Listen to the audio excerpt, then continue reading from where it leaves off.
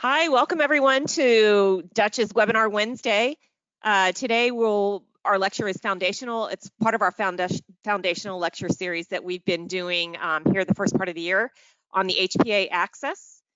My name is Amy Paoletti and I'm a member of the Dutch education team and I'd like to thank everyone for taking time to be with us today. Um, I think we'll have a, a great hour, hour and 15 minutes coming up. Um, a little bit about the outline or the objectives of the, today's lecture is uh, understanding uh, the assessment of the central peripheral system, recognizing the key components of the HPA axis, discuss the physiology of the adrenal glands, identify the role of cortisol, and explain the importance of DHEA and the HPA axis. So just a few housekeeping items um, before Dr. Jones starts. Um, we'll try to answer questions at the end of the webinar, at least spend at least 15 minutes. I know we won't be able to get to all of them, but we'll try to do a fair amount that we can. Um, so make sure to send your questions through the chat window. Um, also, please note that I did load the presentation slides in the handout section. So if you're interested in opening those up and following along while Dr. Jones speaks, uh, please do so. If there's any updates that she's made, we'll make sure to send you out um, the, the final version of the presentation uh, tomorrow. Uh, also, if you can't stay on with us uh, for the entire webinar, we will send the on-demand recording to you tomorrow as well. So uh, we definitely understand you guys have a busy, busy schedules, but we want to make sure that you uh, get the recording and can hear all of this great information Dr. Jones is going to share. So I have mentioned Dr. Jones name several times here, and I know many of you that are online with us today are probably familiar with Dr. Jones, but just in case you're not, and this is the first webinar you've attended by uh, Precision Analytical Dutch Test, let me introduce her. Dr. Carrie Jones is the Medical Director for Precision Analytical. She is also a naturopathic doctor whose pa passion and expertise lies in the areas of hormonal, adrenal, and thyroid health. Dr. Jones graduated from the National University of Natural Medicine in Portland, Oregon, and went on to complete her residency in women's health, endocrinology, and hormones. She later graduated from Grand Canyon University with a master's in public health. So take it away, Dr. Jones. Excellent, wonderful. Thank you, Amy. Thank you to everybody who has joined. There we go. Getting my controls correct. Okay, thank you to everybody who has joined today. We are going to talk about the foundations of the HPA axis. This is not going to be a how do you treat, but to understand the details of the HPA axis. And then once you understand that, you can take it and run with it depending on how you treat, or you can see a number of our other webinars where we do go into treatment uh, in detail. So first and foremost, we're going to just touch on the central and peripheral systems the key components of the HPA axis. We're going to understand the physiology of the adrenal glands because I find um, we get down to the deep, deep cellular level that sometimes practitioners uh, don't quite understand that. Understand the role of cortisol, recognize the importance of the cortisol awakening response, and touch a little bit on DHEA as we get into the HPA axis, all within an hour. So first, so we are all on the exact same page we are discussing cortisol. Now, we're going to touch on cortisol or uh, DHEA just a little bit at the end, but we are discussing cortisol. Cortisol is known as a steroid hormone. It is derived from cholesterol. Therefore, cholesterol is really important to the creation of cortisol.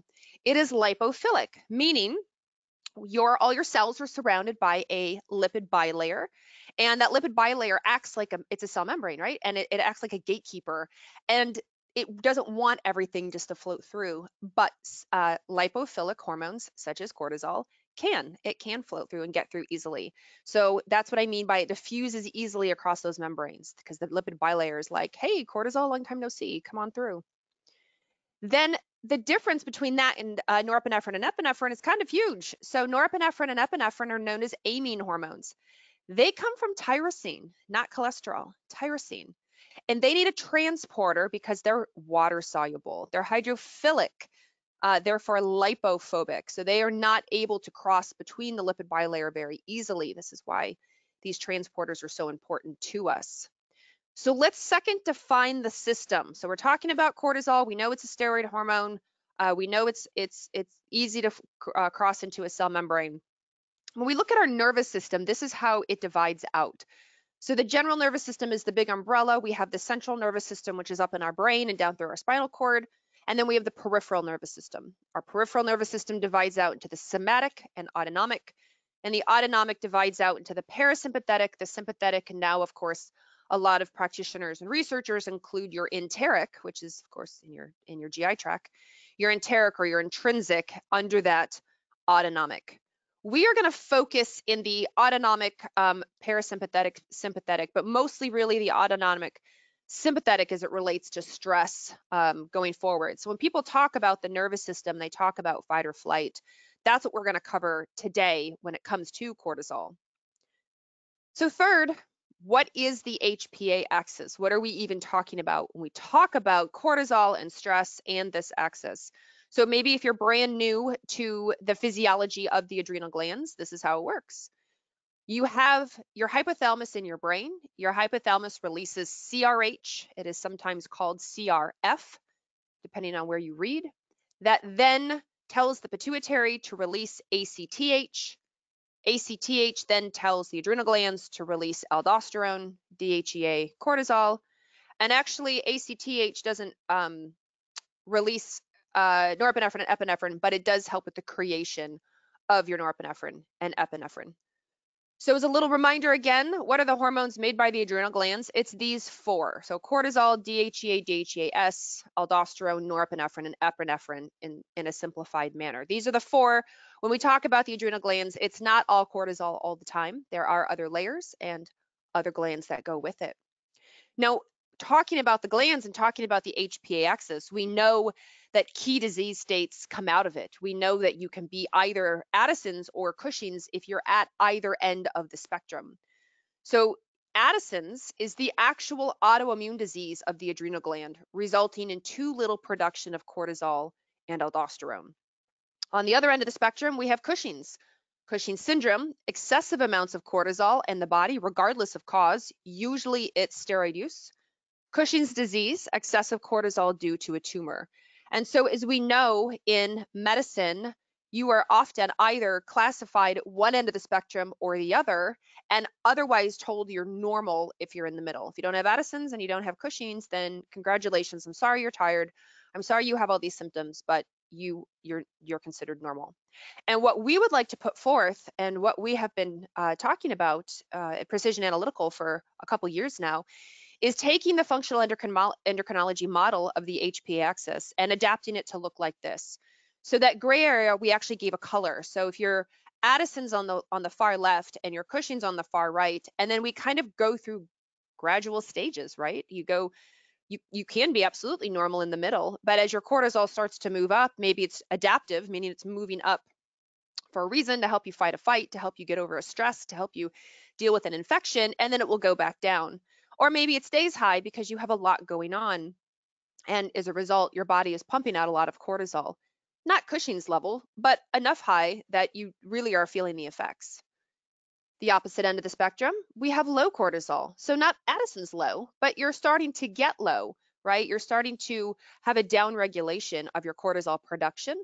And so our cortisol drops into the adaptive, eventually it's into the low. It's not autoimmune, it's not Addison's, but you can have low cortisol and of course feel the effects. And so you may find yourself or your patients are swimming somewhere in these colors, which is what we think is really important in the endocrinology, the traditional endocrinology to take into account.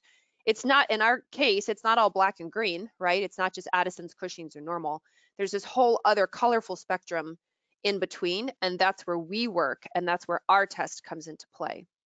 So we have to identify the diseases when you see it, like, right? We have to do something about it. Um, when we test and we find it, we have to go, all right, this is something that we have to um, address right away. This could be a medical, a real serious medical issue. But otherwise, generalized HPA axis dysfunction is what more commonly occurs in the system, and that's what we address. That's what we cover on the day-to-day -day as functional uh, practitioners. So how cortisol is made is important to properly understanding the HPA axis dysfunction. If you're going to treat somebody who has low or high cortisol, you have to get down to the cellular level to understand how did you even get made in the first place? What was the signaling cascade that set it off? And honestly, where in the cell am I going after? Where in the cell could be dysfunctional? And that's that's a true problem. So if we look at a typical steroid biochemistry pathway, we know that these pathways are every single cell laid out in an eight and a half by 11 inch piece of paper. So we know these steroid pathways are how hormones are made in ovarian cells, in adrenal cells, in testicular cells, what have you. And it doesn't really actually work this way. You can't just insert yourself wherever you want um, in this pathway and then hope to affect everything downstream. Because it's a steroid pathway, to make cortisol in the first place, we have to start at the top. So looking at cortisol, some hormones are made from circulating precursors, but cortisol production is not made this way. It is not made from circulating pregnenolone or progesterone. And so Dutch has another webinar that Dr. Tom Williams, where he talked about uh, the pregnenolone or the progesterone steal and how this is, it's physiologically not how cortisol is actually made, despite uh, it being taught over and over and over again. So where does it all start? Where does cortisol production, how do you make it if it's not made from circulating pregnenolone or circulating progesterone? Well, first it starts in the brain. You have to get that signaling down pat. So if you're doing any kind of adrenal treatment, protocol, program, whatever, you have to make sure you address signaling first and foremost. If the brain ain't healthy, you are not going to have good levels of CRH and ACTH coming out to tell the adrenal glands what to do. So if we look at CRH, and like I said earlier, it's sometimes called CRF, it is encoded by the CRH gene. So if you're into genomics and the company you're using tests CRH, you can absolutely see how this is working. It's made in the paraventricular nucleus of the hypothalamus, and its main job is to tell the pituitary to make ACTH. So this means anything that affects the hypothalamus is going to affect the top top signaling for how you make cortisol. Once you're in the pituitary, you release ACTH, right? ACTH. Its main job is to bind to the adrenal gland and cause the release of cortisol primarily. That's that's its first thing. And then DHEA, DHEAS, and aldosterone. Now you might be thinking, well, what about those catecholamines? Well, ACTH doesn't actually stimulate catecholamine release, but it does help with catecholamine synthesis and with the sympathetic nervous system and, and cortisol itself. So it's it's it, ACTH helps build it, um, but it's our sympathetic response of fight or flight that causes them to be released um, out of the vesicle in the first place. So ACTH is helpful here. It's just not helpful like it is for cortisol. Now, once you've got the signaling dialed in, you whatever, again, treatment plan, protocol, what have you, is address the brain health and the signaling health, we move down to the adrenal glands. We know, uh, assuming you have two kidneys, you have two adrenal glands. You should have two adrenal glands where you make your adrenal hormones. The adrenal glands are divided up into layers. So first of all, it's surrounded by a capsule. And then we have the adrenal cortex layer. And the adrenal cortex layer um, are where you have your uh, zona glomerulosa, your zona fasciculata, and your zona reticularis. And if you look on this drawing, you'll see the zona fasciculata, which is the pink section in the middle, the, the, the pink pink, the pink and polka dot. Um, that really truly is a good representation of how thick your zona fasciculata is. It's the thicker section of your cortex because cortisol production is so critically important in your body. Glomerulosa, not so thick. Reticularis, not so thick, not as thick, so to speak. Um, but that fasciculata, that's the, that's, that's the important part. So once ACTH binds to the cortex and it binds to the zona fasciculata with a cell in there, this is what happens. So we've we've got our little diagram of ACTH coming in and and binding into the adrenal gland. And the first thing that happens here is the star protein binds to cholesterol. Star protein binds to cholesterol and moves into the mitochondria. So you can see as you're listening to this, I'm already giving you the key steps of how you're going to do any kind of treatment for the HPA axis. You're going to start with the brain because that's where all the signaling comes and goes. You're going to evaluate their lipid profile. You're going to evaluate their their their their uh, cellular health, right? Because if they have uh, cell membrane issues, if they have problems with their lipid bilayer, then cortisol is going to struggle to get through, even though it should get through. And now we're in the mitochondria. They have mitochondrial issues, you're going to struggle here too. So star protein binds to cholesterol. That turns into pregnenolone. This is the very first section of steps for all of your steroid hormone productions, all of them. We're talking about cortisol, but this is the same for progesterone, estrogen, testosterone. This is the first step in the relative cell that your body makes them. But since we're talking about uh, cortisol, we're in the fasciculata. Pregnenolone goes to the endoplasmic reticulum to form progesterone, which comes back out, converts into 11-deoxycortisol. 11-deoxycortisol comes back in the mitochondria, becomes cortisol. So now we've started, gone out, come back in, and ended up with cortisol. And then cortisol goes back out into circulation. So mitochondrial health is ridiculously important in the zona fasciculata for cortisol production. So let's talk about the zona fasciculata. Like I've said, it makes cortisol. When you get stressed out, when you have a fight or flight response, cortisol is not actually stored for immediate release. I know. Believe it or not, it's your catecholamines that go first. Cortisol is a little slow. It takes about 10 minutes for it to be created and released. Its normal half-life with a healthy liver is about one to two hours, depending on research. It is bound up by something called cortisol binding globulin, or otherwise known as transcortin, and albumin. Now, cortisol binding globulin, much like all your other binding globulins, sex hormone binding globulin, thyroid binding globulin, they're all influenced by the same things, such as birth control pill or insulin or inflammation.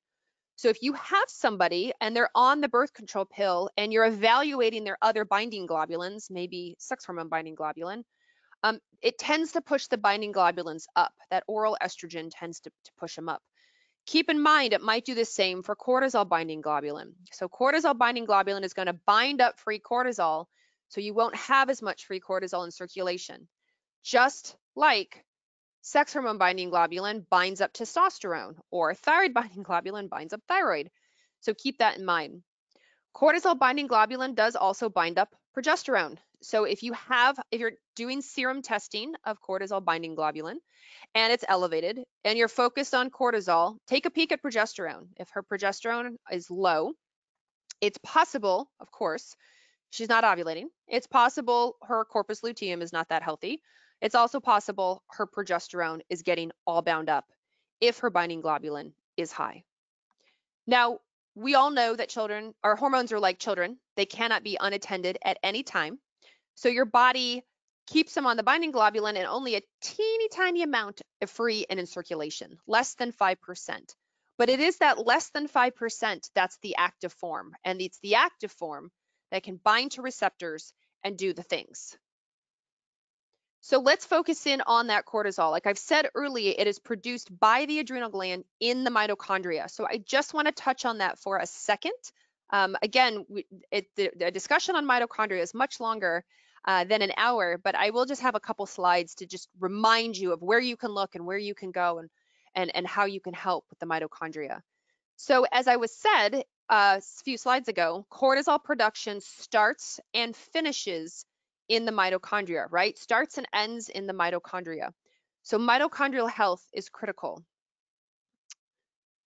What screws up your mitochondria? Unfortunately, a lot of things do. A lot of things. Chemicals, toxins, pesticides, herbicides, mycotoxins and molds, viruses like Epstein-Barr and this current one we have, parasites, heavy metals, crappy diets that don't give you a lot of nutrients or antioxidants, a lot of medications destroy mitochondria. That's an easy one you can look up online. You can look them up on pharmacy medication or pharmacy websites, uh, up to date, things like that. They'll tell you if they've got mitochondrial issues. Ongoing inflammation and oxidative stress will affect your mitochondria. Alcohol, uh, yes, unfortunately, even the organic biodynamic type, again, alcohol is alcohol. Copper toxicity, and then lack of antioxidants, lack of oxygen, lack of iron. So if your if you your patient is iron anemic, iron deficient, um, or glucose, they're struggling with their glucose. So what helps? What helps your mitochondria? Well, obviously addressing the cause. So you're going to go back a slide and work through that with your patient and see what's going on. And then here are just some examples of cofactors, transporters, antioxidants and, and whatnot that are needed for the mitochondria. A lot of these you're going to recognize CoQ10, of course. When we look at the complexes um, and the electron transport chain for the mitochondria, CoQ10 is a big one. Your lipoic acid, your vitamin C, your selenium, a lot of B vitamins are involved um, in, in, that uh, in that electron transport chain, and of course in your Krebs cycle. Magnesium and zinc, um, manganese superoxide dismutase is huge. Superoxide dismutase is a really big, important antioxidant um, necessary right in is going through the electron transport chain. Copper and iron, I mentioned earlier, glutathione, N-acetylcysteine, sulforaphane, uh, PQQ, curcumin, EGCG, other polyphenols, and then intermittent fasting, cold exposure such as cold showers, uh, cold plunges, um, you know, swimming in cold rivers. And the cold exposure is shivering. It's the active shivering. So cold exposure can go two ways. Cold exposure, one can help you with resiliency if you suppress your shiver response. And if you allow the shiver response, then that activates your brown fat, not your white fat, but your brown fat and you have a lot of mitochondria. It's, have, it's very mitochondrial rich in your brown fat. So the active shivering actually can help um, one with potentially weight loss, but two for it's because it's it's as activating uh, the mitochondria. Weights, weightlifting, oxygen. Oxygen is proper breathing. So breathing through your nose as opposed to your mouth. Getting evaluated for sleep apnea and snoring. Um, how how your uh, body posture is right now, listening to this webinar you know, are you sitting upright? Are, are, is, your, are, is your head in alignment over your shoulders? Do you have your chin pulled back? Or are you looking down? Are you looking down at your phone? Are you looking down at your computer? Are you just sort of like hanging out in your chair? Um, that all affects the way we circulate, get oxygen in, and then circulate it up and down from our brain uh, down, you know, through our, our uh, lymphatics and or through our, our capillary arterial system. And then on top of that, we're affecting our lymphatics based on our posture with this for the same reasons. And then red and near infrared light therapy. I get asked like, why? What does red near infrared light, light therapy do? It does uh, two big things. I'll tell you with the mitochondria. One, in your mitochondria, again in that electron transport chain, you have something called cytochrome C, and cytochrome C has a photon receptor on it which means um, it, it's receptive to light, specifically red and near infrared light as it penetrates the skin. So if you have red and near infrared light devices um, that you use medically, then that can help activate mitochondria. It's the same for getting a little sun exposure, getting a little sunshine, a little sunlight on the skin. Um, it penetrates the skin. It can be helpful for activating that cytochrome C. Um, now, the other thing is that it can help mitochondrial biogenesis. Intermittent fasting and cold exposure can do the same thing. Mitochondrial biogenesis, for um, a super quick, easy analogy that I um, just just so you understand, uh, if if I'm a mitochondria and I'm missing my right arm and you're a mitochondria and you're missing your left arm, but otherwise we function just fine. We're just missing like my right arm and your left arm. And we see each other and we recognize if we squish together and became a bigger, badder, awesomer mitochondria with a functioning right and left arm, we can do that and help the body even more. So that's mitochondrial biogenesis. And what encourages that um, that that elongating together of two of them or squishing together and making bigger for uh, to so that if like broken parts of one and broken parts of the other, they're made up for in the other one. Uh, that intermittent fasting, that cold exposure, that red and near infrared light therapy um, can do that. And I thought, man, that's so cool that the that the little mitochondria have figured that out. Imagine if if if, if humans could figure that out. Like I like I've got the best of me and but I've got some parts I'm not thrilled with, and you've got the best of you. And if we came together, like we would be amazing. We'd be like Avengers. So it doesn't work that way in humans, but it does work in the mitochondria. So now continuing on in our cortisol, you've you've made cortisol. You have now you've you've healthy mitochondria. You've actually produced the cortisol. What do you do with it? Well, you can deactivate it to cortisone. Cortisone is inactive. That primarily happens in places like the kidney, but also the salivary glands and sweat glands. It's, it's to protect the mineralocorticoid receptors there. Um, and then, or you can reactivate to cortisol, and, and you often reactivate in fat cells in the liver, uh, parts of your intestine. So your body makes cortisol first. The HPA axis produces cortisol, and then and then depending where you are in the body, what's so cool is that you can be so active in some parts and inactive in other parts, depending if you need cortisol or if you're trying to protect the mineralocorticoid receptors, then you'll get deactivated. So it does this through this nifty little enzyme called 11 beta HSD. So 11 beta HSD1 keeps you at cortisol and 11 beta HSD2 deactivates you to cortisone. There's a lot of neat research about this enzyme because um, 11 beta HSD1 is going to push you into cortisol. And so they have been, you know, starting to evaluate that with things like anxiety or even um, in the adipose tissue itself, uh, cardiometabolic disease are um, because of cortisol's effect. It, it's like I said, this enzyme's high in adipose tissue. So if you have a lot of adipose tissue and this enzyme is active there, it's turned on more than the average bear, then you're going to have a lot of cortisol that will go out in circulation. They're also researching this enzyme for the other way. If you have a broken ability to make cortisone, so your 11 beta HSD2, they're finding um, if, if your gene has a mutation, so you can't deactivate your cortisol very well, they're linking it a lot to hypertension.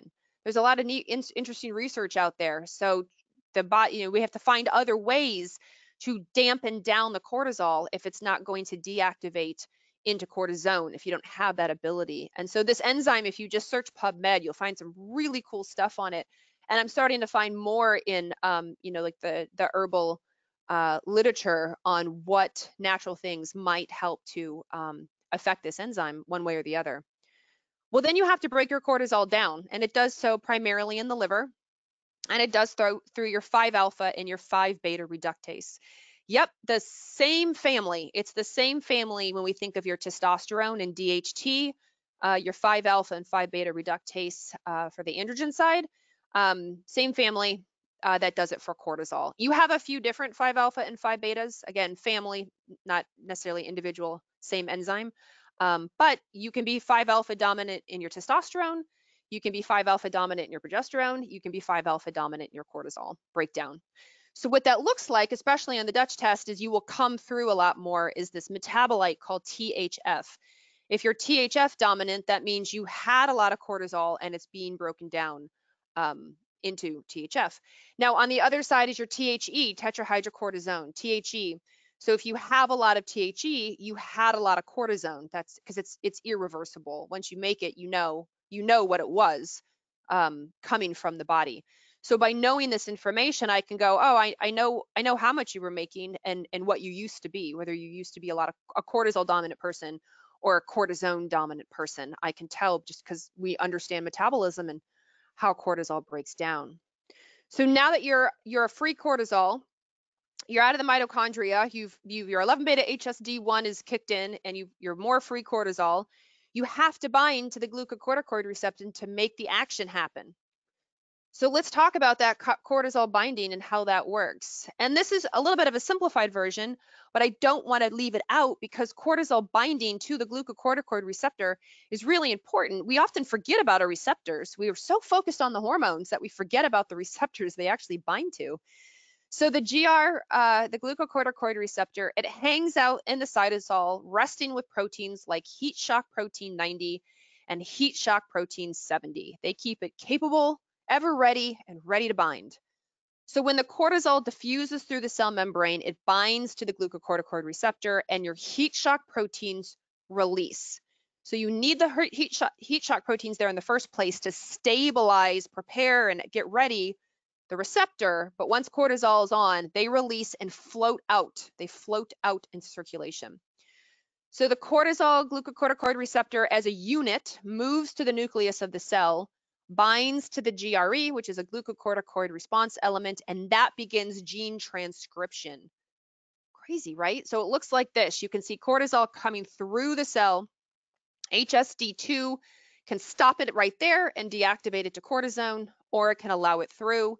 It binds to the glucocorticoid receptor. Your heat shock proteins pop off. Everything moves down into the nucleus, and you start mRNA transcription. So these heat shock proteins, why are they important? Why do you care about heat shock proteins? Well, they're from the uh, heat shock protein gene, oddly enough, and they stabilize and activate over 200 proteins. Some are really common to you, NF-kappa beta, JAK-STAT, tumor suppressor P53, FOXO, MAPK. I mean, there's a lot of things, right, that are familiar. Heat shock proteins are really important. And this is what I think, this is the picture I always envision in my head when we talk about heat shock proteins. So protein folding, again, we're talking about your your receptor, your your your, your uh, glucocorticoid receptor in, in this instance. Protein folding occurs in a cellular compartment called the endoplasmic reticulum. This is a vital cellular process because proteins must be correctly folded into specific three-dimensional shapes in order to function correctly. Unfolded or misfolded proteins contribute to the pathology of many diseases. And I can't remember if it was this article or a different article I was reading. If you think about it, um, your heat, like all of this in the endoplasmic reticulum, it's not like they, it's not like the stuff in your cell, um, you know, adheres to the mandate of staying six feet apart. Like everything's crammed in there and floating around and they bump into each other.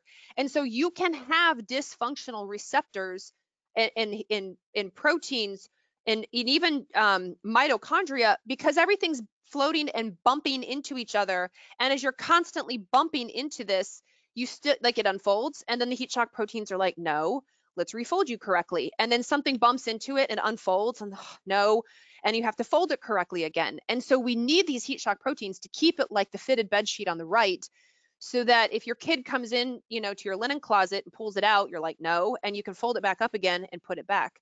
As opposed to on the left-hand side, if something comes in your linen closet, pulls it out and puts it away like that, like that eh, to a binding cortisol, like that's not going to work. That's no good. You, you can't do that. And so even just the act of being human and having a lot of things in your cells can cause misfolding, which is why the health of our heat shock proteins is really important. So the other role of these heat shock proteins is obviously protein folding, but to protect against, surprise, surprise, heat stress, which is the name, but they've soon found out like, wow, it actually protects against a lot of things. Cold stress, UV light stress, wound healing, inflammation, alcohol, metals, starvation, hypoxia, external stressors, etc. They also help with protein degradation. So once you're a protein and you're done, like you need to go, uh, your time is up. Like they help sort of shuffle that along, you know, or usher that along. Like let's let's break you down. They have a high, uh, high affinity ATP binding site. So when a heat shock protein is not interacting, um, then it's in its ATP bound state. So if it's waiting for cortisol and it's just hanging out there, then ATP is there. So again, ATP um, and mitochondrial production are important, are important for these heat shock proteins. So the two I mentioned, heat shock protein 90 and heat shock protein 70, they do different, completely different things. So heat shock protein 90, which is on your glucocorticoid receptor and important, when cortisol binds and and this releases, think about it. It's kind of like a um, it's like a it's like a cytokine in a sense, right? It's like a it's a it's a signaler because it activates both the innate and the adaptive immune system. Cortisol has bound to the glucocorticoid receptor. That means something's wrong, right? That means something's wrong. So it can act as a damp. So a damp is damage associated molecular pattern due to cellular damage. Um, so right, there's damps and PAMPs. So this is dam damps due to cellular damage. And it does increase NF kappa beta because your your body is like something must be wrong. Let's activate the system using heat shock protein 90. So we need it to, for proper receptor binding of not only cortisol, but aldosterone, estro, your estrogens, progesterone, and your androgens. So we're talking cortisol in this hour, but it's really important for binding of all your hormones. So its dysregulation can lead to carcinogenesis, autoimmunity, and or chronic disease, and heat shock protein 90 inhibitors are being studied for cancer treatment and to reduce autoimmune flares in rheumatoid arthritis, lupus, uveitis, colitis, alcohol liver injury, and lung inflammation. And if you take a step back and think of it, why they need a, a heat shock protein 90 inhibitor because they don't want it to float away and activate the immune system. But why is it activating the immune system in the first place? Oh, right, because these hormones have bound. Now, cortisol being the, I think, this is my personal opinion, the big one, the big influential one, um, and and the one that maybe is the most um, overlooked and how it affects our immune system, right? And and our stress response and how we how we handle that, I think is really important. So as we know, a lot of people are walking out there or walking around out there in a very high stress state and they have cortisol binding to their glucocorticoid receptor all the time, but it, that's then activating your, your heat shock protein 90. And it, if your patients with autoimmunity, like really talk to them about stress and really talk to them about their stress response, and really talk to them about stress mitigation because it could be a huge influencer. And this is just one way through the heat shock protein 90. Thankfully, your body, as usual, is smart and it gives you a heat shock protein 70. So when it's activated, it generally suppresses pro-inflammatory genes. So it blocks the transcription of NF-kappa beta, does the opposite of heat shock 90. It activates an anti-inflammatory cascade. It increases your Treg cells. And in animal studies, inducing heat shock protein 70 downregulates autoimmune arthritis development. So high expression of heat shock protein 70 allows cells to, to survive injuries that are lethal under normal conditions. Like how crazy is that?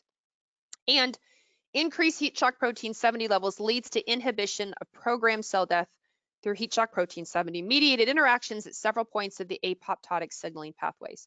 Well, now you might be thinking, well, I don't know what to do. What do I do? Do I how do I lower 90 and raise 70? So it's really a lot of it's about um, it's it's about it's, it's about balance for one. It's kind of like Goldilocks, but we all know we need some stress and, and it's about our resiliency. So we like heat shock protein 70, but 90 comes along with it.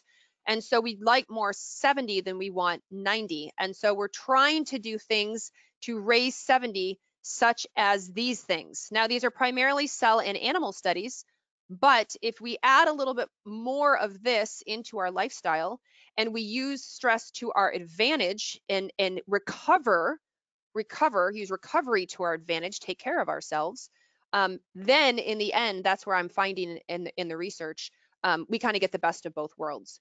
So the most important thing I want you to take home about this slide, the absolute most important thing is the number one bullet point on there is dark chocolate. Boom, done. Like, there you go. That's the most important thing you need to know. Um, but you'll see other stuff on there. Saffron, rhodiola, oregano oil, schisandra, broccoli sprouts or sulforaphane, curcumin, sauna, right, eleuthero, glutamine, arginine, uh, allicin, and garlic, whey protein, propolis, resveratrol, red wine, particularly in Syrah or Cab Franc, um, the red wine for Syrah and Cab Franc are because that's the wine that's the highest in resveratrol. Be careful, it's still an alcohol. Calorie restriction and certain uh, studied probiotics. And so again, these are cell and animal studies, um, but dark chocolate's the number one bullet point, and that's really all that matters. So these things might help you raise your heat shock 70. All right, so now we're gonna continue through the zones. We've gone through fasciculata, we understand the mitochondria, we understand how important it is to improve mitochondrial health. We understand mitochondrial biogenesis. We want bigger, better, badder mitochondria with functioning left and right arms. We understand that little enzyme, 11 beta HSD, that turns it on and turns it off. And then we understand that in order to bind, we have to work with our heat shock proteins. And if we have dysfunctional heat shock proteins, we're going to have dysfunctional sh fitted sheets in our in our uh, linen closets of our of our body. And so we want to make sure we eat dark chocolate primarily and keep our heat shock protein 70 really really healthy. So let's move through the zone. Let's go through glomerulosa. Glomerulosa of course is aldosterone. This is our saltwater balance. Influences the reabsorption of sodium and the excretion of potassium. It is controlled uh, mostly by angiotensin 2 a little bit by ACTH and when cortisol binds to the mineralocorticoid receptors, we look like that pufferfish and we have sodium and water retention. Back to that a little, that enzyme 11 beta HSD2, it's heavily concentrated in areas with mineralocorticoid receptors.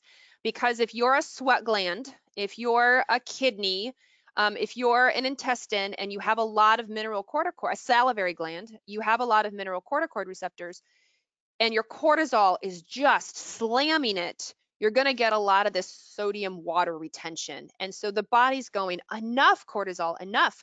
I'm going to deactivate you. And that's why it plants that enzyme there uh, to try, to try to do its job and deactivate cortisol and protect the receptors. So this is one reason for in those high cortisol folk, they may also complain of water retention, tight rings, tight socks, puffy face, things like that. And as you work with their cortisol balance, their, their stress response, um, their resiliency, that they notice that their saltwater balance gets better. Aldosterone, what happens, um, in case you've forgotten, increases blood pressure. in, because you have increased sodium retention, increased potassium release, and then increased extracellular volume or water retention. So this is the actual cascade mechanism um, that happens if you've forgotten.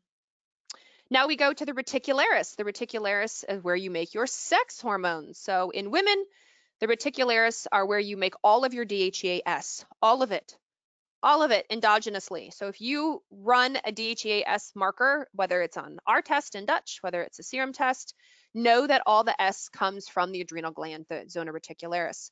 Um, if you're taking supplements, if you take DHEA as a supplement, it is converted into S in the intestines and in the liver. So um, you then it, so if you take it as a supplement and then test your DHEAS, you don't actually know if that's what you're making or if that's due to the supplement or what percentage that is um, because you're on a supplement. You would have to go off the supplement for a good couple days, get yourself back to a baseline and then test and then you can see what's going on. Unfortunately, as you know, hormones are not geotagged, so I have no idea. Um, and I get asked this a lot. I, people will say, um, "Well, how do I know which where that's coming from? Like this DHEAS, did it come from my liver because I'm taking it? Did it come from my intestine because I'm taking it? Did my adrenals making it?" I'm like, I, you know, if it if it showed up geotagged, that'd be great. That I could backtrack and tell you where it's from. They're not geotagged. 80% um, of your DHEA, no S, made in your adrenal glands. Women, your other 20% are made in the ovaries in your theca cells. 50% of your androstenedione, the other 50% are made in the theca cells. 25% of your testosterone, um, are, again, made in the adrenals.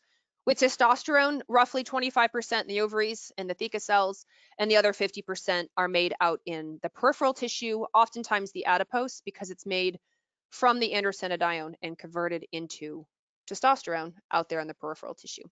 But just in the adrenals, all the S, 80% of the DHEA, 50% of the androstenedione, 25% of the testosterone. So you can see if you have dysfunctional HPA axis, you're going to have dysfunctional androgens. Men, same. All your DHEAS. So the same rules apply for endogenously versus supplements to you as well.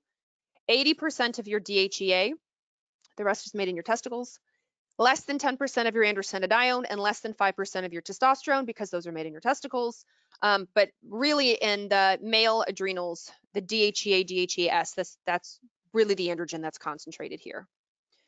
So DHEAS is the most abundant circulating steroid in the whole body. DHEAS is uh, inactive. Once the sulfate goes on, then it cannot bind to receptors and cannot do the things. You have to take the S off to, to make it active. So it can't cross into the blood-brain barrier as, as with the S on, um, but once made from within the brain, it can cross out. And DHEAS has no diurnal pattern, but DHEA does have a diurnal pattern. So please be aware of what you're testing and when you're testing it. So on the left-hand side, to get the S on, which is inactive, basically, you're gonna be looking at your SULT SNP, specifically, most commonly, your SULT 2A1, um, but the SULT2 family in general um, are good indicators for you. Sulfotransferase requires uh, PAPS. PAPS is the sulfate donor. Um, so if you have enough sulfate to put the S on, sulfotransferase, transfer the sulfo, right? Transfer the S on. To get it off, so now you're active and can bind to receptors and do the things, you use the steroid sulfatase enzyme from the STS SNP.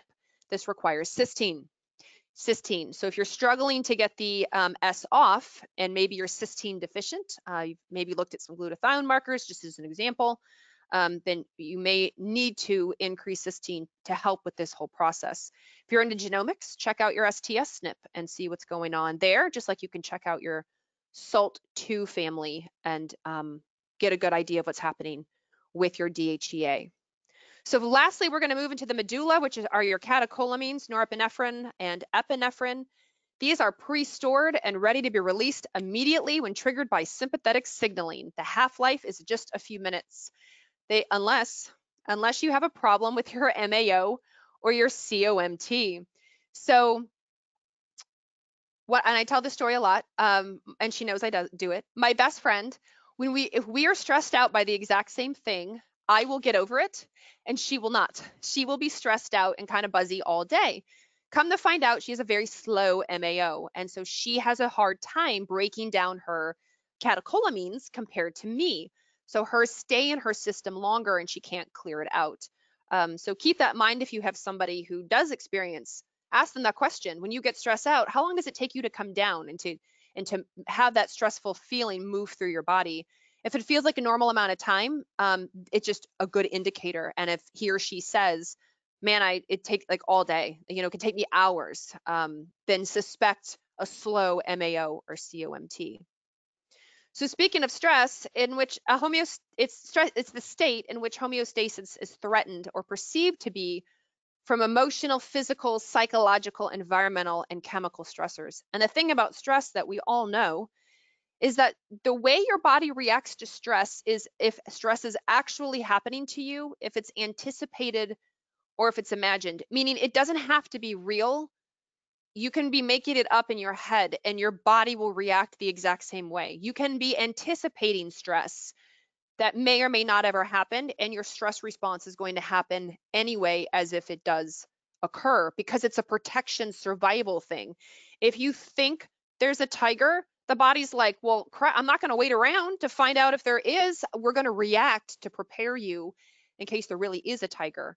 So keep this in mind if you're a person who makes mountains out of molehills just saying, um, that these the the anticipated and the imagined um, can really do a number on the HPA axis.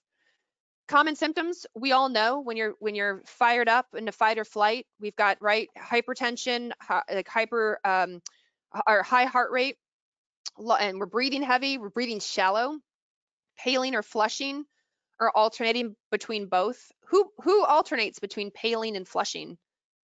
hot flushes, maybe, night sweats. Inhibition of stomach and upper intestinal action, so constipation, problems with digestion, indigestion. General effects on the sphincters of the body, constrictures of blood vessels in many parts of the body. Um, right, we break down, we want all the nutrients, so we start to break down fats and glucose for muscular action. Our blood vessels dilate so we can get everything out to the muscles to run. We get dry eye, dry mouth, dry skin, dry vagina. We're thinking menopause, but stress plays a role. Dilated pupils, relaxation of bladder. Who comes to you and says that they have trouble holding their urine, that maybe they leak? Could be hormones for sure, could be anatomical. Cortisol could play a role. Inhibition of erection, loss of libido, loss of hearing, tunnel vision, reflexes, acceleration of reflexes, shaking, so this is all normal for a short-term stress response. Short-term, right? Short-term being the operative word. But in a moderate to long-term stress response, we get this HPA axis dysfunction. So chronic stress in any in any form can result in a hypersensitive or hyper-reactive stress response. And it happens because the amygdala in our brain, our amygdala is one of our fear-based conditioning glands, um, fires quicker and quicker and quicker to tell the HPA axis, run, run, fight or flight, oh my gosh, scary, be hypervigilant, you know, it's it's this is stressful. And so it conditions itself the amygdala gets conditioned that everything's scary and so it's constantly telling the hp axis um, that everything's scary. So your patient says stress affects me more and i'm and i'm quicker to react. Um, you know i'm snappier i'm more irritated. Uh, it, it, it just I, with these repeated occurrences and i used to be able to handle stress but now i can't. Why can't i handle stress anymore? And this is what happens in this result. So in an acute stressful response, we should get a mild stressor, we get a rise in our reaction, and then our parasympathetic should go, okay, it's cool, we're done, I've got you, let's relax. We have a parasympathetic rebound and return to normal. But unfortunately, what happens that we know, because um, we see it in our patients all the time, and as practitioners, you may be approaching burnout yourself, we get the stress and we get a now a strong because we've been conditioned we've been conditioned we've been conditioned we get a strong sympathetic stress response. We don't get the appropriate parasympathetic response and we, we don't really recover to normal. And this, of course, happens gradually over time, but it can be really detrimental to our health and the health of our patients. So this is important because the less flexible the whole body system is, the slower the system is to adapt. We can't survive and we can't thrive in our environment. So when these when the zombie apocalypse happens, you know, we're just we're just not able to adapt we're not able to, to, to thrive and and to really really live live it out and get ahead so cortisol progression in a chronic state, initially we head up towards the uh, right-hand side with the adaptive cortisol and the high cortisol. But over time, we start to go down the other way. We start to get into that negative feedback loop where cortisol constantly bombarding the brain, the brain goes, wow, this is enough. And the negative feedback loop kicks in. Down goes CRH, down goes ACTH, down goes cortisol. And now we're down into a low cortisol state. So if you see somebody in your practice who is low cortisol, they probably had high cortisol not that long ago and that feedback loop kicked in, assuming they're not on anything suppressive. So stressors, inflammation, infection, etc., negative feedback loop, negative feedback loop, and now you have low cortisol. So over time, again, if you have someone in your practice, if they're currently high cortisol, know that they if they don't if they, you don't do anything about it and they don't do anything about it, it's going to become low. And if they are low, that they were high and we need to undo that feedback loop. So a normal response looks like this. It follows a circadian rhythm at, at, the, at the direction of our clock genes in our brain. So on waking, our cortisol's, you know, nice and low. We just woke up. And then over time, our cortisol goes up and then gradually comes down until it's nice and low before we go to bed. We want our cortisol to be like the sun and we want our um, uh, melatonin to be like the moon. So cortisol is up in the day, then down, so then melatonin can come out. Now, this is obviously for somebody who's on like a day shift clock. Um, this can look very different somebody for somebody on the night shift clock. So the four point collection is a great starting point. It covers the general circadian rhythm. You can, if like Dutch testing, you can look at metabolites, which are the THE and THF. You can get an evaluation of that 11 beta HSD enzyme I've talked about, and we can look at cortisone. So now we want to maybe even expand that and look at something called the cortisol awakening response because we're all about resilience. Not only is it important to look at the cortisol itself, but how is it how is it produced um, and when? Timing is everything. So the CAR, the cortisol awakening response, is used to determine resiliency and flexibility.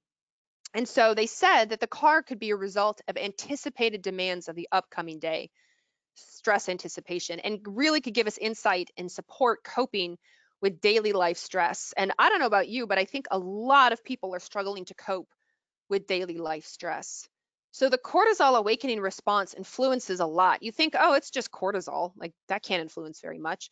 Huh, if it had a resume, it'd be a very long resume. It affects our alertness in the morning. It affects our energy levels, our resiliency, like I said, our feelings of stressed out, our blood sugar management. As you know, um, or maybe don't know, cortisol, its main job is glucocorticoid or is, is glucose management. It's a glucocorticosteroid for a reason, gluco being glucose. That's what it does. It for sure helps with all this other stuff, but between your cortisol and your norepinephrine and epinephrine, that's a your main way for balancing and dealing with and triggering and, and breaking down and creating uh, glucose. Your CAR has a big influence on your autoimmune response, inflammation, infection, memory recall, and cancer outcomes. So the CAR is very specific. The cortisol awakening response um, happens in the first 30 minutes of you waking up. So my question is always the same. When you wake up in the morning, how long does it take you to feel alert and ready to go? And if it, you say to me, oh my gosh, within, you know, 10 or 20 minutes, I'm pretty good. I'm on, I'm ready to go. I'm Cinderella and the birds are flying around my head. Then you have a pretty good cortisol awakening response. But if you tell me it takes you two hours and two cups of coffee, your cortisol awakening response is not that great. You, it, it should take about 20 to 30 minutes. It should go up. Then it rebounds and comes down um, the, the recovery within at about the 60 minute mark and continues down um, throughout the rest of the day. So this is um, when we zoom in the cortisol awakening response curve, you would think, oh, that looks about the same as the other curve you showed me. This is a zoomed in version. So again, you collect on waking, you look at 30 minutes later, and you look at 30 minutes after that. Because I'm really trying to ascertain how do you do in that first 30 minutes in the morning? Can can you make this the switch to alertness, right? Can you get going? How are you going to handle your blood sugar? How are you going to deal with inflammation? How are you going to um, mitigate autoimmune. And that first 30 minutes is what gives me a lot of those answers. So we use salivary testing for this part. It's a little bit different, of course, than urine. We use, use salivary because in order to evaluate the cortisol awakening response and the full circadian rhythm, we want to collect really rapidly in the morning and urine is just not able to do that. I mean, some people might be able to say they could urinate every 30 minutes, but really we just want to like pop the swab in their mouth, collect on waking, uh, collect again 30 minutes later and collect again 30 minutes later. And at Dutch, we use the salivette swabs because it's easier um, and, and more hospitable, especially for those with dry mouth, instead of passive drooling into a tube. Now, the problem with saliva, though, is that you cannot get the cortisol metabolites. Those only come from urine, and you cannot get the 11 beta HSD indicator. Again, that comes from urine. So you can do one or the other, um, but maybe if you're really trying to get the whole picture, the best practice would be to combine the two to have uh, the, the salivette swab part of the saliva and then the urine part. So you get the cortisol awakening response, you get that rhythm through the day, you look at the metabolites to see if they're um, more of a cortisol person or a cortisone person, to see that enzyme 11 beta HSD, and then of course to gather the other adrenal markers, DHEA, um, S, and then the norepinephrine and epinephrine markers known as HVA and VMA for those of you who do organic acids. So big picture summary, the HPA axis starts in the brain. Remember, this is the fundamentals, so we're not talking about treatment, but I do need you to understand when you're thinking of treatment, don't just ask me like, well, what's your favorite adaptogen? Because I mean, I have a favorite adaptogen, but like, what's a favorite treatment? Because I don't know where, where's the issue, right? We have to determine where the issue is. Is it and if it's at the brain, then we have to look at the brain. And then from there, the adrenal glands make cortisol, DHEA, DHEAS, aldosterone, and your catecholamines. Cortisol is a steroid hormone. It's made in the mitochondria. So maybe instead of your favorite adaptogen, we need to look at your favorite mitochondrial support. And it comes from cholesterol, not circulating progesterone or pregnenolone. So if your patient's on a statin medication with really low cholesterol, maybe that's the problem. Cortisol should be highest in the morning, assuming you're on day shift and lowest in the evening. And um, over time, the stress response can become overly hypersensitive and eventually result in low cortisol output. So if you have somebody in your in your in your practice with low cortisol, don't just ask me for something that's going to, you know, wake up a dead horse. Like let's backtrack and figure out why did they have high cortisol and why is the negative feedback loop kicked in? And then how can we overcome that negative feedback loop? Testing the CAR, the cortisol awakening response, helps evaluate resilience. So you're going to ask that question to your patients when you wake up in the morning. How long does it take you to feel alert and ready to go? And the CAR plays a role in other important health outcomes, such as blood sugar response, inflammation, autoimmunity. And then lastly, DHEA has multiple functions in the brain and the body, and now you know how you get the S on and how you take the S off. And if the S is on, DHEA S, then it's inactive. Once you take the S off, it is inactive, or it is it's active. The DHEA can then bind to receptors and do the things. So last couple slides, just if you're like, what is she talking about? I'm new to Dutch. How do I evaluate this? I don't do urine testing. You're about to become a pro. We have a few key tests that can be really helpful. So the Dutch Complete, four urine collections through the day. This is our flagship test. There's a fifth overnight collection if you have insomnia. So we look at all the sex hormones plus the metabolites, your testosterone, your DHT, your estrogen, your phase one, your phase two detoxification, etc. We do look at all the cortisol, cortisone, metabolites, and of course the pattern.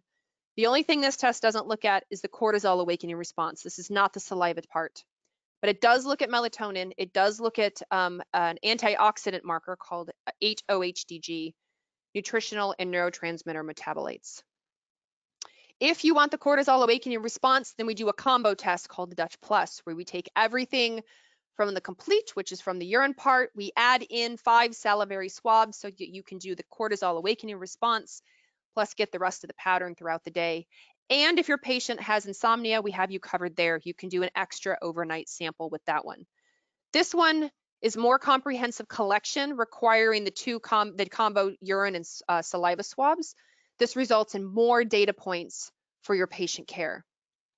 And then as a complete aside and has nothing to do with cortisol, but you can add it to your complete or your plus for your woman, your cycling woman who uh, or should be cycling, we have what's called a Dutch cycle mapping. This is where she collects one strip pretty much every day of her cycle and we will graph out her estrogen and progesterone for her so she can and you can evaluate what is going on through her cycle. Why does she get migraines at ovulation and before her period? Why is fertility a concern for her? Why does she feel this way on day 16, day 18, and day 24 through 28? This gives you that, that macroscopic view, that uh, bird's eye view of her cycle, so you can start to answer those questions. And lastly, lastly, lastly, the healing starts with you. So practitioner, heal yourself, please Please don't be like Cruella de Vil, who's trying to excel in their career, keep proper distance, maintain a social life, sort of, on Zoom. Drink enough water, exercise, text everyone back, stay sane, survive, and be happy. Your cortisol awakening response is going to drop down, down, down if you do not take care of yourself. And we do not want that. We want you to have healthy, robust levels of cortisol so that you can be alert, um, reduce your in uh, inflammation, reduce your autoimmune risk, have healthy, normal levels of glucose, and so on. If you're new to Dutch, never been a part of Dutch before, we do have a fantastic, fantastic Become a Provider sign up bonus where you can receive 50% off up to five test kits, any of the kits that we talked about today, when you sign up. So if you are uh, interested, you can definitely send us an email, sales at dutchtest.com.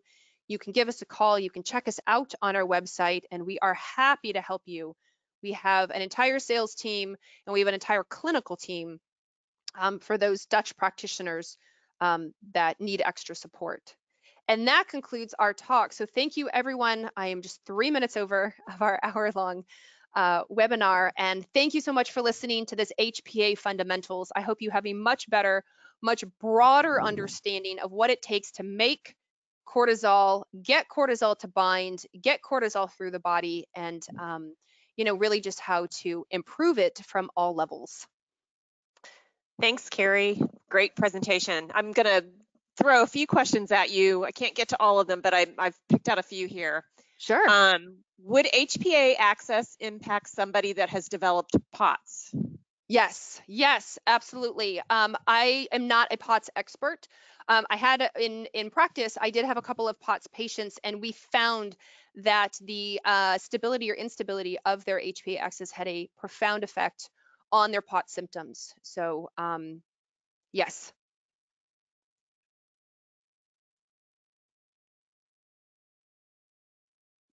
Uh-oh, we lost Amy. And oh wait, I can't. Mean, sorry, I think. Um, in result. Can you repeat that? I'm sorry. Think, yeah, can you hear me? Yes, I can hear you. Sorry, so is the enzyme? Yep, is the enzyme 11 beta HSD connected to re, to the release of cortisol while fasting, or is this only due to toxins release? So 11 beta HSD is an is an enzyme, so it doesn't actually um, it's it's not like cortisol is released, and it's concentrated in certain areas of your body.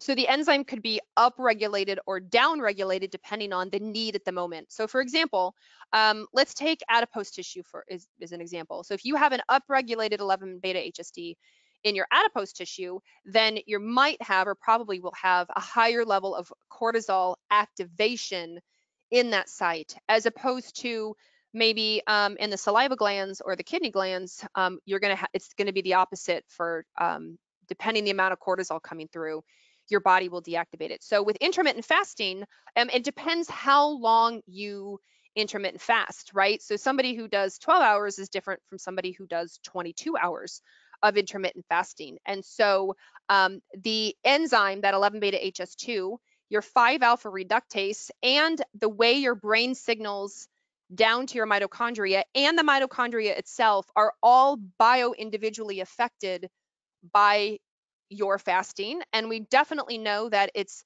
like male versus female, and we know female cycling, and we know it's different with females depending where they are in their cycling. And so unfortunately, I don't have a like standard canned answer, all I can say is intermittent fasting can affect all those things with cortisol and it can affect that enzyme, but it I, don't I don't we don't tend to see um, I don't have a trend. Like I, I couldn't tell you that intermittent fasting in all women who cycle, as they get close to their period, the enzyme goes up, as an example. Um, but we do know it does, it, intermittent fasting, especially the longer you do it, can absolutely affect it. So if you feel like it's affecting you negatively, um, I've had people say, I jumped in intermittent fasting. I feel like my sugars are a mess. I feel like my cort, you know, like I cortisol is over the all over the place. I'm like, okay, just let's the there are other things going on. Let's address that before we jump back into uh, intermittent fasting. And other people are the opposite. Other people begin intermittent fasting. Let's say they do the 16-8 plan and they're like, oh my gosh, it's been a game changer. I feel like I have better clarity. I feel like I have better energy through the day. I feel like my blood sugar is better balanced. And again, I think it's pretty bio-individual. Long answer, I apologize, but No, no, you that's that's great. Um, let's see. Let me pull up another one. Um, I've got somebody asking, is there a way to increase the MAO? I know you were talking about that with stress yes. response. Yeah. So um, um, yes, that's a that's a whole other webinar and a whole other book. so I definitely encourage you to um, you know do some research online because you will find some you will find some good resources on understanding the MAO better. Um, that's better than the Q and A section of, of this webinar. But yes, you can support it. Okay, let's see. Um, do tricyclic antidepressants affect the cortisol awakening response test? Tricyclic. Yeah, sorry. tricyclic. Um, Tricyclic. let me think about this. Um, mm, I'd have to look that one up. I don't remember if the tricyclics do.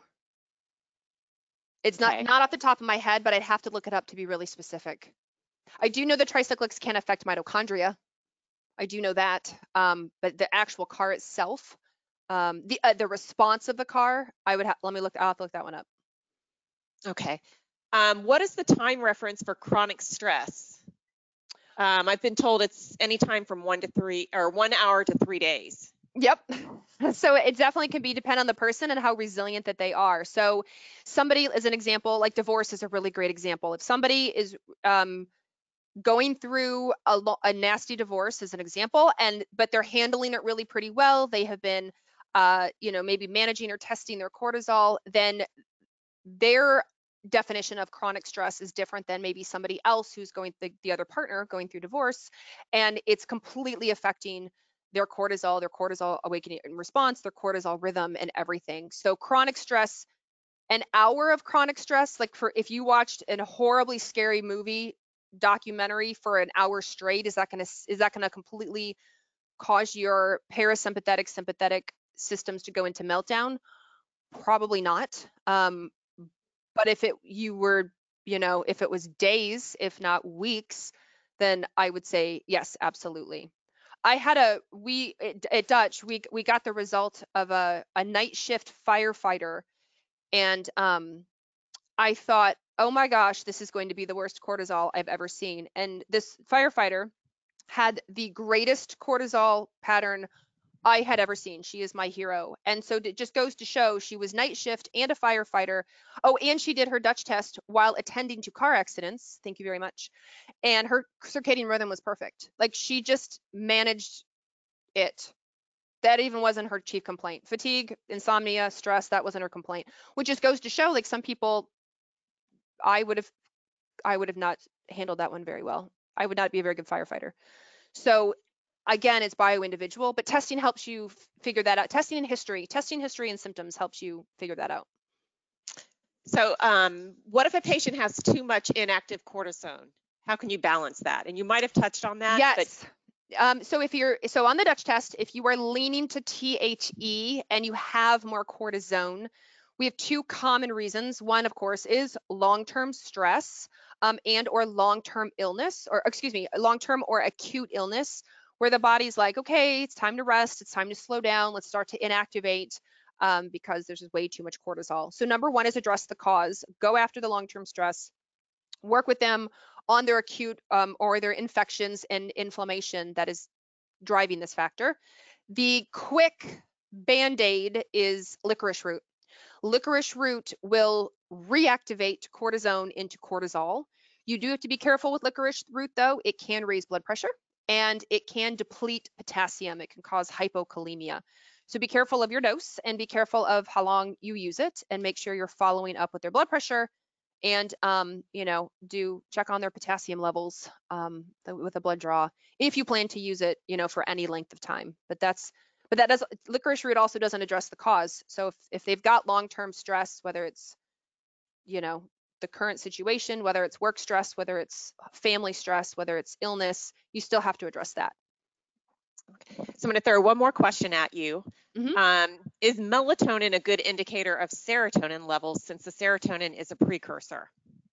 That is actually a really great question. And I'll be honest, um, on Dutch test, we used to run um, a few years ago a marker, a metabolite called 5-HIAA, which is the metabolite of serotonin. And while that marker can also uh, vary, just like the, the catecholamine metabolites, they all they didn't always sync up. It wasn't like melatonin was low, therefore 5-HIAA was low, and vice versa. So I I don't use melatonin um, as a good indicator o- of um, serotonin levels uh, only because um, central serotonin and, and peripheral are, are different. So, right. And even though in the Dutch test, we're collecting uh, partly what's pineal, we're also collecting though what's, you know, serotonin and our melatonin, like a lot is made in the gut. And so we're catching that as well. So you may have normal levels of serotonin in the brain and the, and your, and, and it's a gut problem or vice versa. You may have central serotonin issues and pineal issues, um, but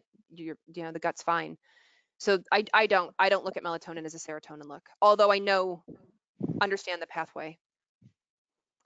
Well, let me throw one more question at you. I've got somebody that's asked, um, how often would you uh, advise a practitioner to uh, retest with the Dutch test? So depends what you're looking at and how they're feeling. On average, I suggest every three or three to six months. So if you think about a, a cycling woman with ovaries and um, folliculogenesis, so from the act of going from the primordial follicle up to the chosen ovulatory follicle is three months.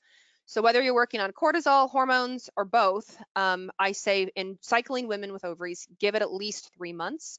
Um, but if you get to the three month mark and you're asking the person, the patient, how are you feeling? How are you doing? And they're like, man, you know what? You've changed my life. I feel like 70% better. I'd like to keep going. Then save your money or save their money. Don't test. Maybe don't, maybe retest at the six month mark and see how they're doing. But if at the three or four month mark, they're like, gosh, you know, you know, some things are better, but some things aren't. And I just really don't feel like everything's working then go ahead and retest. And then after that, let's say uh, we had to totally have practitioners that do just the one year thing. So they just have them come in for their, you know, yearly check-in. They run a Dutch to see, you know, what's going on. Maybe they're on hormones, maybe they're, you know, monitoring something and they just do it every year. Great, thank you. So uh, that's our last question. I'm going to have our uh, have Dr. Jones answer. I just want to remind all of you who are still on with us, we will send the recording uh, tomorrow, probably sometime after lunchtime, uh, West Coast time. Um, and want to thank you again for joining us and spending this uh, hour, hour 15 minutes with us. So thanks everyone. Uh, our next webinar Wednesday will be March 24th. We will be doing another foundational lecture on the HPO axis. So thanks again. Thanks, Dr. Jones. Thank you, everyone. Thank you, Amy.